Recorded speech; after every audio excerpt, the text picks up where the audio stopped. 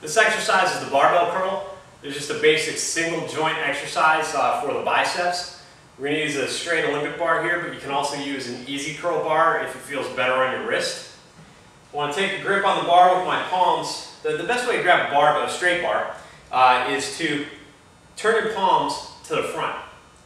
Where your arms naturally are is about where you should grip the bar. A lot of times people try to grab the bar with a little bit closer grip, and that may aggravate the wrist a little bit. So when you're using a straight barbell, if you just stand up straight, fully extend your arms and turn your palms out to the front, that is usually the optimal grip uh, position on the barbell. So I'm just going to approach the bar, my arms turn forward, my hands turn forward, and I'm going to grab the bar in that exact width.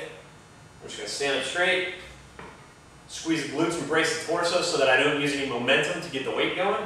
Lock down tight, and just curl the bar all the way up so that the forearms touch the biceps, so use a full range of motion. And then lower the weight down to a full extension. It's very important when you're doing bicep curls that you work through a full range of motion and totally extend the elbow joint at the bottom of the movement. Sometimes you'll see some people just doing partials like this. You're not working the bicep through a full range of motion, and what you're going to do is make the bicep weaker through the range of motion that you're not training the bicep. So if your bicep comes under load down here when your joint's extended and you're not used to working in that range of motion, you could suffer an injury to the bicep tendon or the muscle itself. So again, face the bar, turn the palms forward.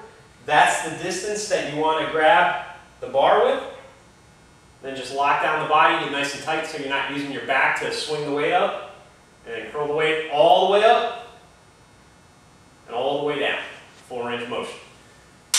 That's the barbell bicep curl.